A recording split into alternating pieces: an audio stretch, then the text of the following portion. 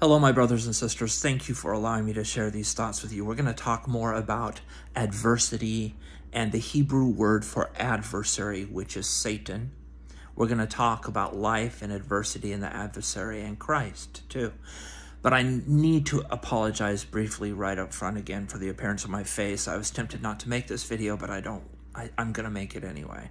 I'm going through a chemotherapy treatment for precancerous skin cells, and I've got eight days left, so it's going to get worse, but then it will heal, and within a month or so, it should be back to normal again. I apologize for the appearance. Let us talk about what some people have taught. I was taught this as a boy, as a member of the Church of Jesus Christ of Latter day Saints. I was taught that that we learn through adversity and that we're going to uh, progress because of adversity. The Latter day Saints, more than I believe any other Christian sect, they idolize adversity all the way from the handcarts and crossing the plains and going through adversity, you know. But let us look, look closely at what is being said in the mind frame of this. In the Garden of Eden, was there adversity? No, that was not adversity. What is the word for adversary in Hebrew? Satan. You know, we are told that, at least as members of the Church of Jesus Christ of Latter day Saints, that there were one third of the host of heaven that followed Satan and wanted Satan to be their Christ, their Savior. Satan means in Hebrew, literally, the word adversary. I'm going to ask you this question Can you have adversity if there is no adversary? If there is no Satan, no adversary, could you have adversity? No, you cannot.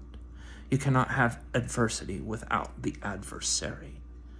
And so to say that we are going to be saved through adversity and progress because of adversity, you must then call the adversary, which is the Hebrew word Satan, your Christ. Did you know that's what you're literally doing? Did you know that when you say that if Satan had not chosen, they believe Satan, he had choice. Latter day Saints believe that Satan had cho- choice. If Satan had not chosen to tempt Eve, would the fall of man be? No, because she was never going to eat that fruit. She never would have eaten it on her own. She had to be tempted and beguiled and lied. Beguiled means lied to in order to eat that fruit. And Satan, Latter day Saints believe, that that was his choice. Did Heavenly Father force Satan to do that? No. So when you say, in this world, we pass through adversity, and I want to remind you again what the Apostle Paul taught.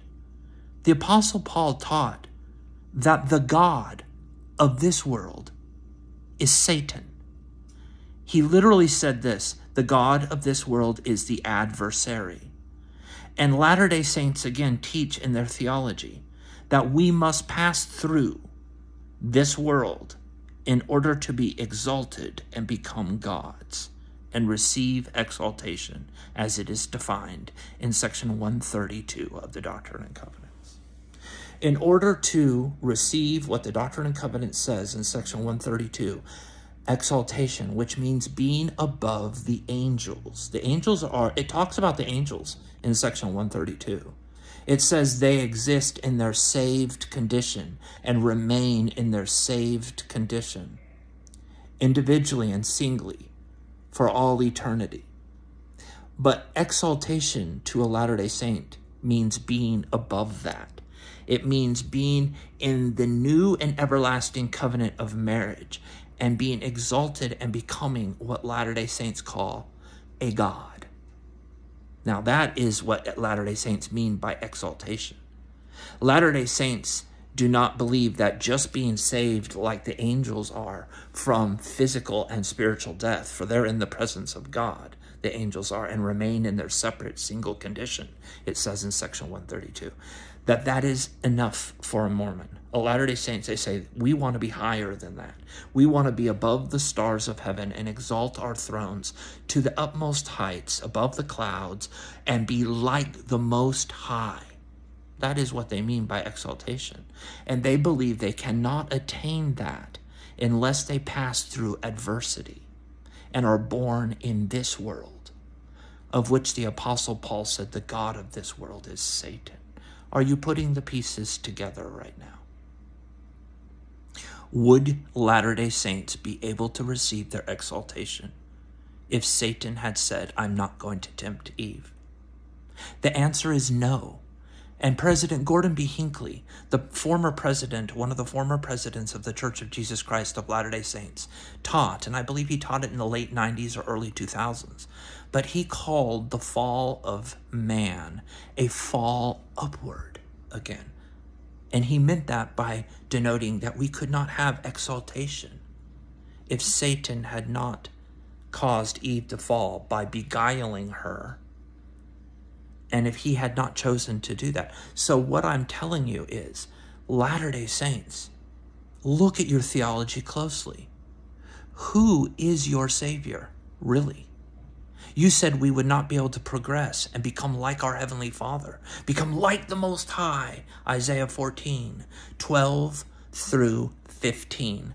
Why hast thou fallen, O Lucifer? He said five I will statements. What did he say? We've talked about it. What were the five I will statements that Lucifer said that the Bible testifies is why he fell and will be thrust to hell? The first one I will ascend into heaven. I will exalt my throne above the stars of God. The stars of God, again, are the angels. In Hebrew scripture, they're called the stars of God, the sons of God. I will exalt myself to the utmost heights of the mount of assembly, the mount of congregation, which is the mount of the gods. He said, I will be above the clouds and I will be like the Most High. That's why he fell. Now, let's look at Latter day Saint exaltation.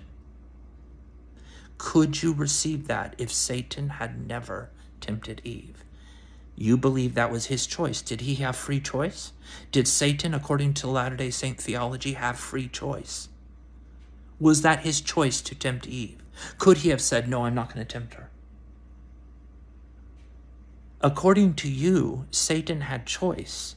And because of his choice, now you have the opportunity to be exalted and become a god and be above the angels.